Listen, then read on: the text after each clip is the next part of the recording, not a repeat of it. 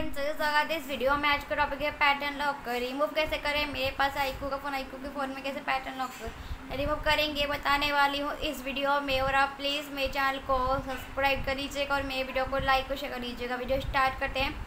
Friends आपको pattern lock remove करने के लिए सेटिंग के ऑप्शन में क्लिक करना है। इसके बाद आपको यहाँ पे सिक्योरिटी के ऑप्शन में क्लिक कर देंगे। इसके बाद आपको यहाँ पे स्क्रीन लॉक पे क्लिक करें लॉक ओपन करेंगे।